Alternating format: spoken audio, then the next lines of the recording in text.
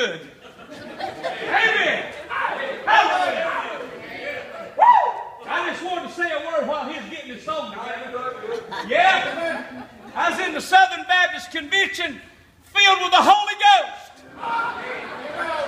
I didn't get my standards when I became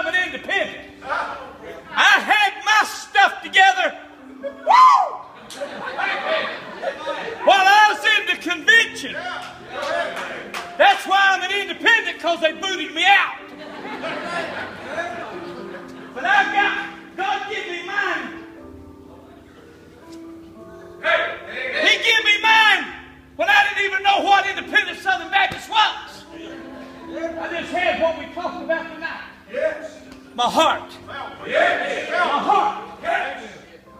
Can I say another word real quick? I don't want to take that. I just filled up sitting here. I've been filled up. Ought not say this and might be getting off.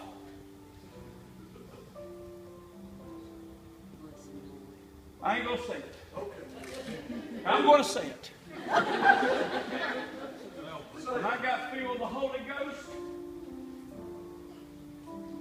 I'd set up Brother Marion. I'd wake my wife up at 2 o'clock in the morning, crying, showing her what God showed me in the Word. I wasn't a preacher yet.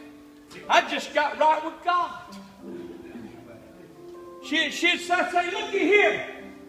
She'd say, that's good. Leave me be now. now this is what's going to get you now. I'd go back to the kitchen, 2 o'clock. This ain't one morning, many mornings. I'd pour me another cup of coffee. And I'd light me up another Marlboro. Oh, I know this is gonna this is gonna stop you. You say, how could he been filled with the Holy Ghost smoking Marlboros? Because see, I was filled because I was giving God up to that point anything he wanted. He just hadn't said anything about Marlboros yet. But he was sure getting me faithful at the house of God. He was sure getting me faithful in tithing. He was teaching me to give to missions. Oh, I was learning a whole lot hiding my Marlboros when I go soul winning. But there did come a time about six or eight months later, he tapped on the Marlboro pack.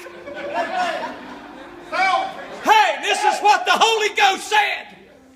You like what's been going on so far? I said, I do. He said, then you give them up. And I'll just keep on working. So what I'm saying is, I was filled with the Holy Ghost because I was giving God everything He wanted. And up to that point, you said it, not me, and emptying. So I emptied. Whatever He said to empty. Now I'm not saying it's, I'm not condoning sin. But this, this thing about being filled with the Holy Ghost got people confused. Yes, sir. That charismatic crowd confused them. Right. I've had some of my old guys get saved in years past. Know nothing about God. Get saved and come to church, chewing tobacco. My biggest shouters. But I watched God in time begin to take it away, clean them up. They still shouted. Their testimony got longer. Their glorious countenance got brighter. I just want to say it's good to be filled with the Holy Ghost. I'm now 70 year old now. And I've been praying all night. I've been praying a long time. Keep me close. I want to finish right. I'm not smoking anymore. Not that sometimes Baptists don't drive me to want one. I'm, I'm telling these kids right here where you are right now. Where you are right now. I, I didn't even know any of this stuff. Just God help me. I didn't know any of this stuff. But I did know one thing as I look back now at least 50 years of being a preacher. I look back now and I see what God done. Amen. what God done for me. Amen. You can be filled with the Holy Ghost. You don't have to wait. That's right. That's right. Amen. You're never going to be perfect. We make it feel like sometimes they got to be perfect.